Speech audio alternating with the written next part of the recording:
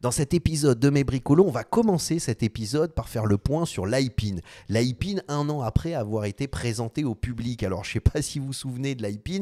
Moi, j'avais fait quand même pas mal d'épisodes de mes bricolos sur cet objet, sur ce produit, parce que c'était la première proposition d'un objet, si vous voulez, qui incarne l'intelligence, qui avait pour ambition, si vous voulez, d'incarner l'intelligence artificielle, de nous faciliter le dialogue avec cette intelligence artificielle. Et c'était un objet totalement disruptif absolument surprenant. Pas d'écran, aucune communication avec un téléphone portable, totalement autonome, avec un laser qui vient se projeter dans, le pomme de, dans la pomme de votre main. Enfin, incroyable objet. Alors si vous vous souvenez pas exactement de ce que les IP, ne vous inquiétez pas, on va revoir ça rapidement. Mais il y, y avait beaucoup de problèmes, il y, avait beaucoup de soucis qui, qui ont fait que lorsqu'il a été commercialisé, beaucoup de gens ont dit que c'était le pire produit de l'année 2024, ce qui est assez, assez violent quand même. c'est quand même assez violent. Mais en fait, si vous voulez, ce qui est intéressant, c'est que je suis tombé sur un article de Dizine qui disait c'est peut-être le pire produit de l'année 2024, mais en même temps, c'est un objet qu'on doit admirer. On doit l'admirer parce que les, la proposition fait qu'on doit se poser des questions sur notre façon de consommer les nouvelles technologies et notamment de dialoguer avec l'intelligence artificielle. Et dans le calendrier, il y a un hasard de calendrier, mais c'est plutôt intéressant. Ça tombe, cet article est sorti et il tombe la même semaine où Apple nous sort tout l'intégration de l'Apple Intelligence, donc l'intelligence artificielle d'Apple, dans toute la gamme des produits Apple. Là, c'est vraiment euh, du MacBook Pro, Mac Mini, euh, à l'iPhone, à l'iPad. Ça y est, maintenant, euh, l'IA est intégrée. Donc l'Apple Intelligence, mais l'IA d'Apple est intégrée sur toute la gamme des produits Apple. Donc c'est intéressant de revenir sur cet objet, de comprendre pourquoi il n'a pas fonctionné et pourquoi il faut admirer cet objet et quels sont les éléments qui nous font qui font qu'on se pose des questions sur la façon dont on consomme ces nouvelles technologies et notamment l'intelligence artificielle. Et ça m'a permis, si vous voulez, d'utiliser un petit peu le même angle pour regarder d'autres projets qui ont été faits là dernièrement en utilisant l'IA ou l'impression 3D et, et de se poser un peu la même question. Est-ce que ce sont des fausses bonnes idées? Est-ce qu'il y a des choses à apprendre? Est-ce que ce sont des solutions et est-ce que c'est ce qu'on va, c'est ce qui va nous permettre de comprendre comment les objets vont se développer dans l'avenir. Donc c'est c'est juste passionnant. Donc on se pose tranquillement, on se retrouve en couleur et on découvre tout ça dans cet épisode de Mes Bricolos. À tout de suite. Salam alaikum, bienvenue à tous dans ce nouvel épisode de mes bricolos, épisode numéro 8 de la saison 5. Comment vont mes bricologistes préférés? Comment ça va les copains? J'espère que vous avez passé une merveilleuse semaine. J'espère que tout va bien pour vous. Moi, ça me fait toujours toujours très plaisir de vous retrouver. C'est notre rituel hebdomadaire. Chaque mercredi à 17h en GMT, je publie un nouvel épisode de mes bricolos et dans ces épisodes de mes bricolos, bah justement, on prend le temps de discuter, papoter, commenter les dernières actualités de la création, de l'innovation et du design. Et comme on se retrouve chaque semaine, bah, ce qui est intéressant, c'est que on peut revenir à des épisodes passés, on peut se et savoir ce qu'on disait à l'époque comment les choses ont évolué. Et justement, l'iPin, alors là, voilà, vous l'avez sous les yeux, c'est ce petit objet, c'est pour ça qu'en introduction, je me touche des fois le, torse, c'est parce que c'est comme si je l'avais sur moi et en fait, je, reproduisais, j'avais cette image devant les yeux, donc je reproduisais.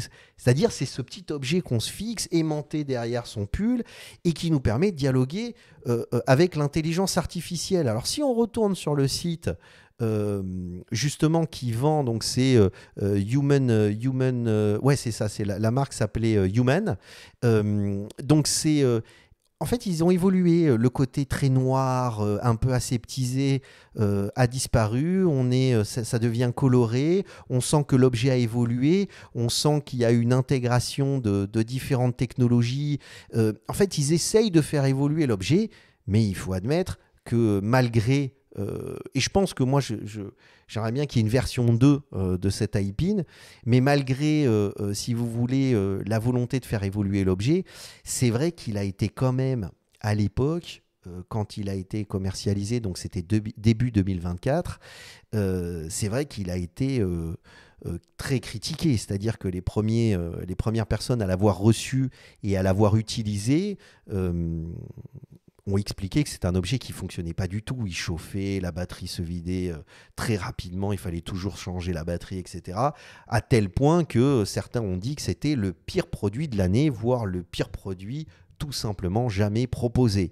Euh, mais finalement, Dizine, et c'est cet article dont je vous ai parlé en introduction, dit mais en fait, les gars, ce qui est intéressant, c'est que c'est un objet qu'on doit admirer parce qu'en en fait, il nous fait, il fait qu'on se pose des questions sur l'évolution des technologies, notre consommation avec ces, aux écrans, si vous voulez, aux écrans, aux réseaux sociaux, et que finalement l'IPIN qui lui a pour but, si vous voulez, de nous euh, de créer une distance avec les écrans, de revenir à un monde réel.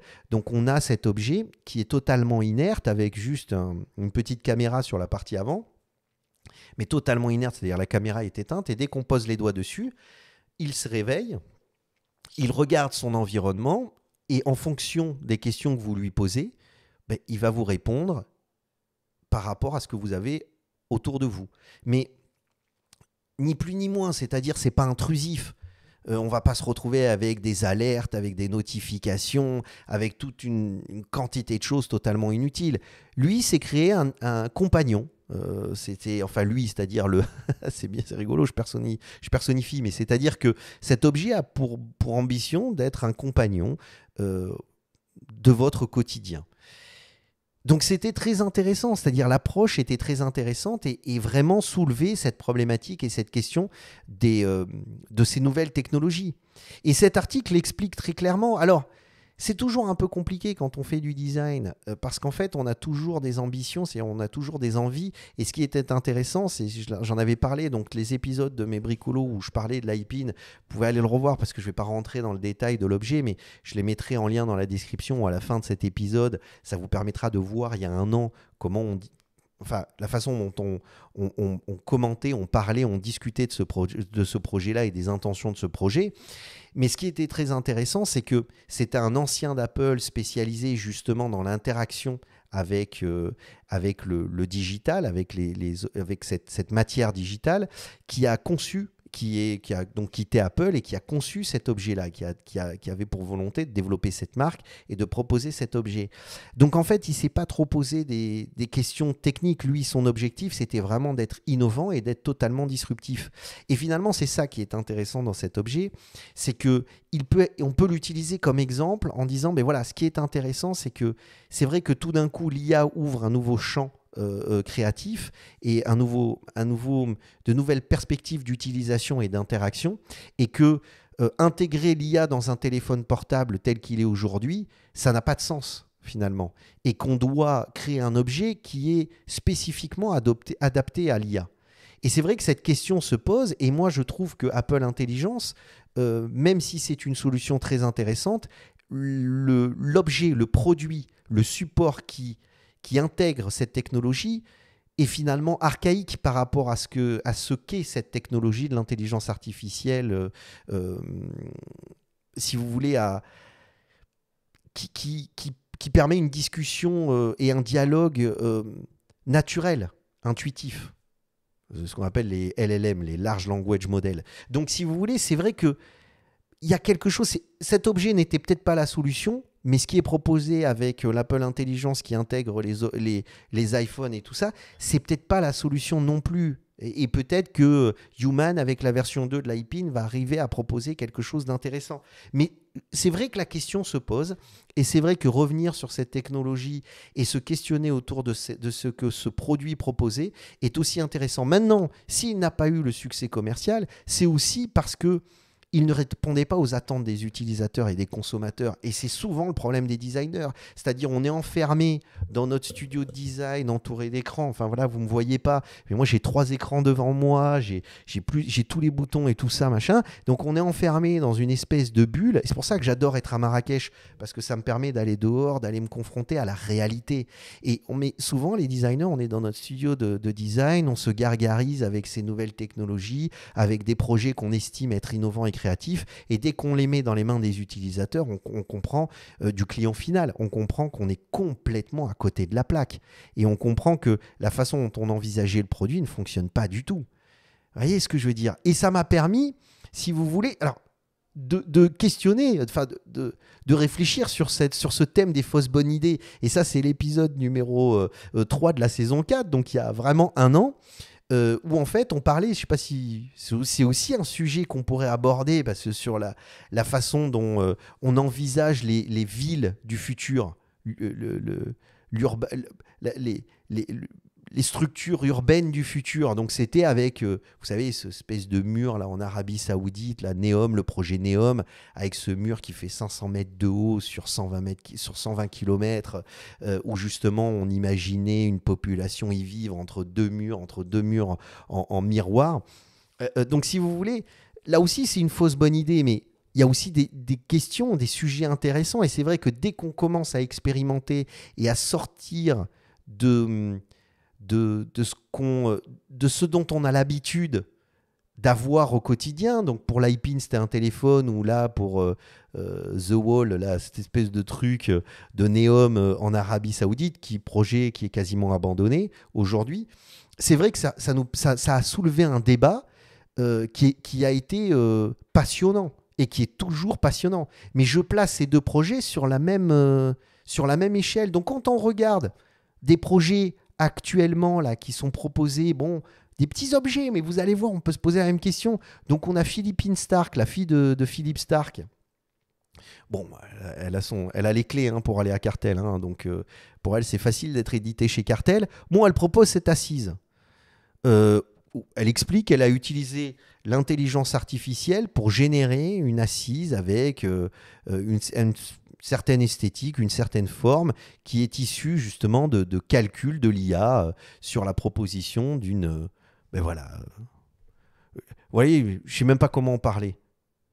Moi, je trouve ça euh, très basique, totalement... Enfin, ça, n'apporte rien. D'abord, l'objet n'est pas forcément très élégant parce que l'IA, justement, lui, ne se pose pas la question de la beauté, de l'élégance, de l'harmonie. c'est des, un, c'est un algorithme, quoi. C'est des calculs de probabilité. Donc, euh, il essaye de faire ce qu'il peut. Des fois, ça peut générer des choses très intéressantes et on l'a vu. Mais là, dans ce cas-là, euh, cet objet, je le trouve pas forcément très intéressant et pas beaucoup plus ergonomique. Donc, pour moi, typiquement, on est sur un objet d'expérimentation, certes, mais qui, voilà, qui, qui n'est pas fondamentalement très intéressant mais qui nous permet au moins de s'arrêter, de se questionner sur justement euh, la conception d'objets du quotidien par l'intelligence artificielle. Par contre, je suis tombé sur cet objet que je trouve incroyable, c'est qu'en fait, euh, euh, le, fabricant automobile, alors Mach, Mal, Malé, bon, excusez-moi, M-A-H-L-E, a créé un ventilateur totalement silencieux en s'inspirant des ailes des hiboux. Alors je ne sais pas si vous savez, mais si vous regardez sur YouTube, vous avez des vidéos où vous avez des, euh, des ingénieurs, des ingénieurs, des ingénieurs, des qui ont essayé d'enregistrer les battements des, ah, mais je vais y arriver, les battements d'ailes des hiboux. C'est vrai que la phrase n'était pas très, très évidente non plus, donc excusez-moi. Euh, les battements d'ailes des, des hiboux. Et c'est vrai que ça ne fait absolument aucun bruit. C'est absolument incroyable. C'est fascinant. Euh, je vous conseille d'aller voir ça. Et en fait, qu'est-ce qu'a fait cette marque?